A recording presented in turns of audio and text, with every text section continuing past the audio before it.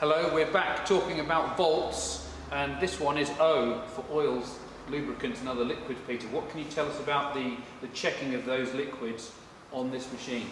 Yeah, part of your uh, initial visual checks around your bike before you ever go out on it would be to check your oils and lubricants for the, for the levels and leaks. So engine oil, you'd want to you want to know that you've got um, full level of oil.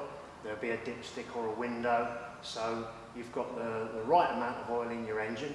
But equally, have you got any leaks? So check around engine left and right, underneath. Have you got any leaks at all?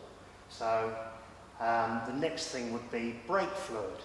So they'll always have a, a little window so you can check the level, but equally have you got a leak from either of the calipers, front or rear, and also around the master cylinder.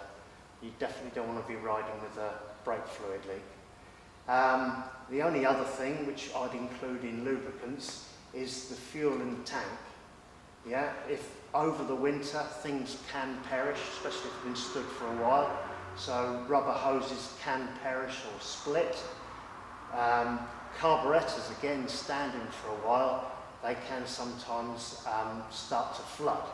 So if you've got any petrol leaks whatsoever, they need to be remedied before you ever go out on the bike.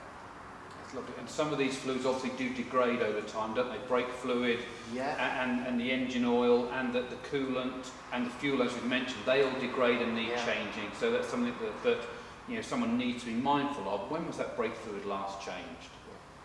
Manufacturers generally suggest that the brake fluid should be changed every two years.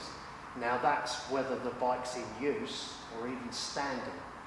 Without getting too technical, that absorbs moisture, so just sitting there in the garage, it's degrading.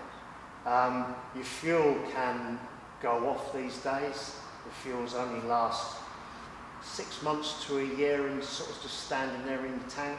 So if you're having trouble starting the bike, that might be your issue. So again, that's something that needs to be sorted out. that's lovely, thank you. Thank you very much.